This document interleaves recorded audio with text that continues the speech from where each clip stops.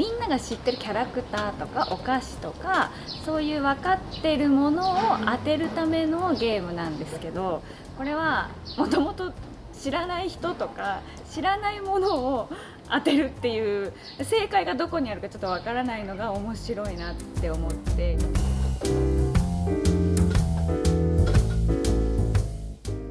あの第1弾、第2弾と今展開してるんですけども第1弾は全て私のお知り合いの方でございまして小学校の教頭先生それから大学生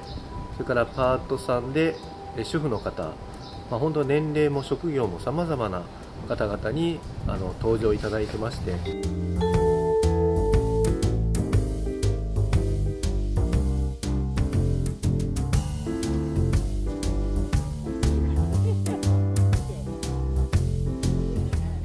珍しいので、